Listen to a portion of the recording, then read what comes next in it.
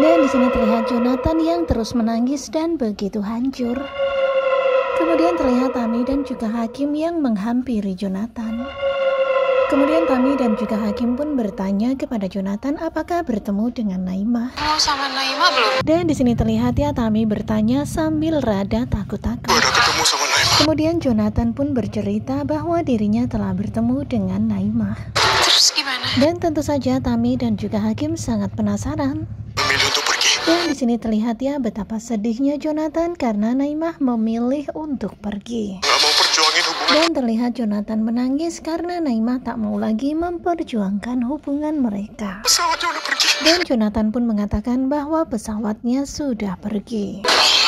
Kemudian terlihat Tami dan juga Hakim berusaha menenangkan Jonathan.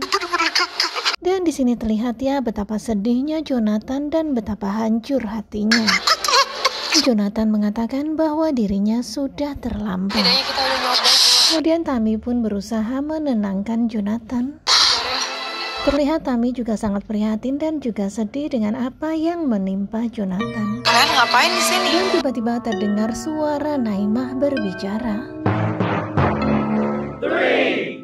Dan tentu saja Jonathan pun sangat kaget mendengar suara itu. Dan ketika Tami menatap ke arah suara itu, ternyata itu adalah Naimah. Dan ternyata, oh ternyata Naimah tidak ikut terbang ke Malaysia. Dan di sini terlihat ya kebahagiaan Tami dan juga Hakim melihat kedatangan Naimah. Dan tentu saja apalagi Jonathan sangat-sangat bahagia seperti mimpi. Di sini Jonathan benar-benar nggak menyangka Naimah berdiri di hadapannya. Kemudian terlihat Naimah pun tersenyum kepada Jonathan dan Jonathan pun menghampiri Naimah.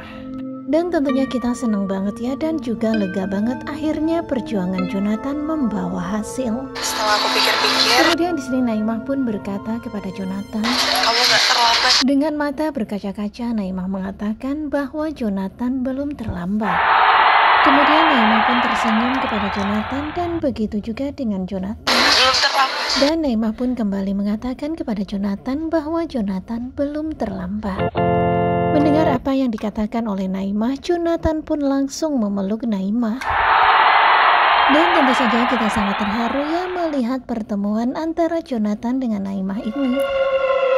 Tentu saja kita semuanya tidak menyangka ya bahwa ternyata Naimah akan kembali dan tak jadi pergi. Dan tentunya kita semuanya bisa merasakan yang kebahagiaan Jonathan dan juga Naimah. Namun tentu saja perjuangan cinta mereka belum berakhir karena mereka masih harus mendapatkan restu orang tua. Kemudian di sini terlihat Hakim dan Tami yang juga ikut berbahagia. Dan pastinya sangat lega dan juga senang misi mereka berhasil. Dan tentu saja di sini terlihat ya kebahagiaan Hakim dan juga Tami. Tentunya bahagia banget ya akhirnya mereka bisa menyatukan kembali Jonathan dan Naimah.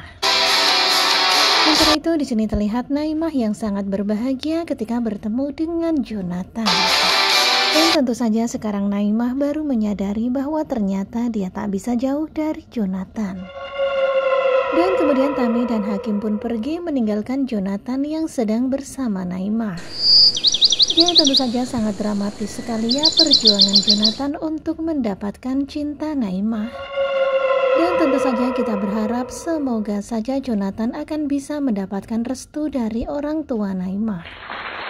Nah tentunya makin penasaran kan dengan kelanjutan takdir cinta yang kepilih pada hari Kamis 17 Agustus 2023 Dan tentu saja hari ini bertepatan dengan hari kemerdekaan Indonesia. Jangan lupa untuk selalu bersemangat dan jangan loyo ya, jangan putus asa.